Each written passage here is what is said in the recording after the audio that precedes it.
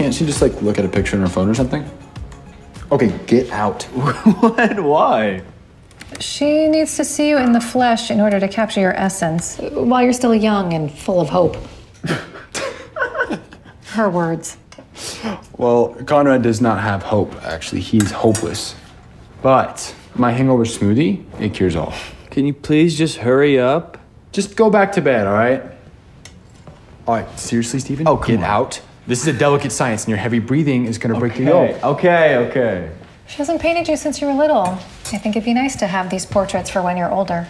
Oh no, when I'm older, I'm sure there'll be like, like holograms or something I can watch of myself. You know? Just sit for your portraits. I don't see Conrad complaining. He'll complain when he's conscious. Hey.